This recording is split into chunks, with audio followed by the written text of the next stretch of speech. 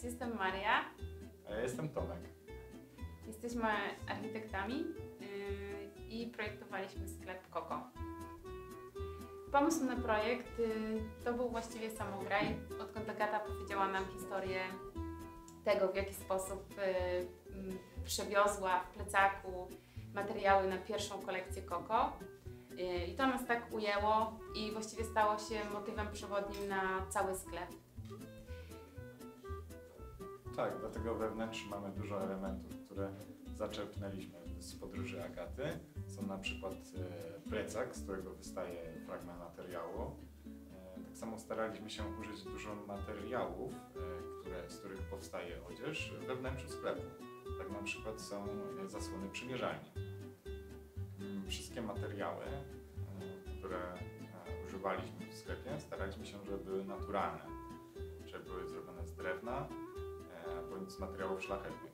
Od początku wiedzieliśmy, że wnętrze musi być mobilne i zmienne, ponieważ każda kolekcja wymaga nieco innego wyeksponowania.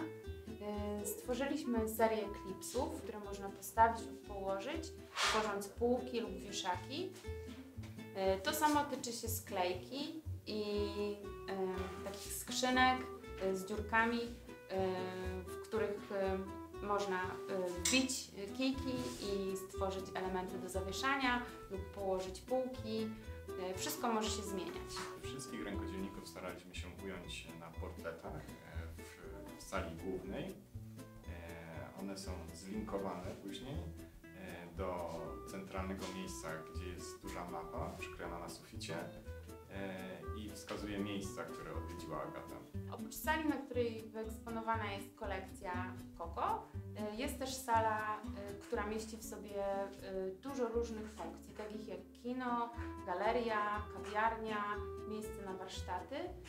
Stąd znowu mobilność przymierzalni. Przymierzalnie, które się znajdują w tamtym pomieszczeniu są składane, czyli albo są, albo ich nie ma.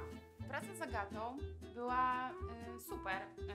To jest typ klienta, który nie tworzy problemów, ale raczej szuka rozwiązań i jest zawsze pozytywnie nastawiony. Generalnie dla niej nie ma rzeczy niemożliwych. Teraz, ponieważ znam całą historię taką z zaplecza y, tej marki, mogę powiedzieć śmiało, że, jest, że jestem wielką fanką.